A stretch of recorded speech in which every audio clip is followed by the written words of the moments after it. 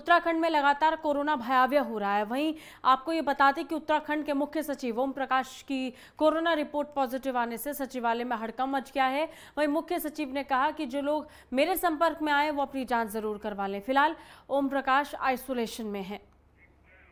और इन सब के बीच उत्तराखंड में लगातार कोरोना संक्रमण के मामले तेज़ी से के साथ सामने आ रहे हैं। 24 मार्च से अभी तक 100 पुलिसकर्मियों की रिपोर्ट पॉजिटिव आई है, जबकि सभी पुलिसकर्मी कोरोना वैक्सीन की दो डोज ले चुके हैं।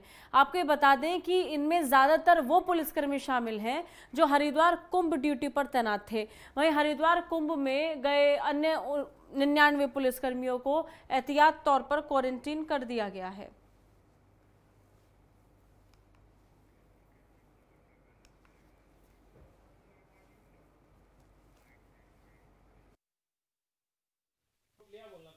दो फ़ेज़ में हम लोग वो चेक कर रहे हैं कि टेस्ट जो है फ़र्स्ट फ़ेज़ सेकंड फ़ेज़ तो सेकंड फ़ेज़ हमारा 24 मार्च से जो शुरू हुआ है, इसमें अब तक सौ पुलिसकर्मी जो है वो पॉजिटिव हुए हैं।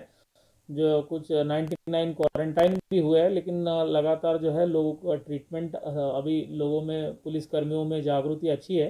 तो इसमें कोई भी सीरियस इस टाइप का नहीं है और तेरह कर्मचारी जो है अभी ड्यूटी पर वापस पुनः सौ में से वापस आ चुके हैं।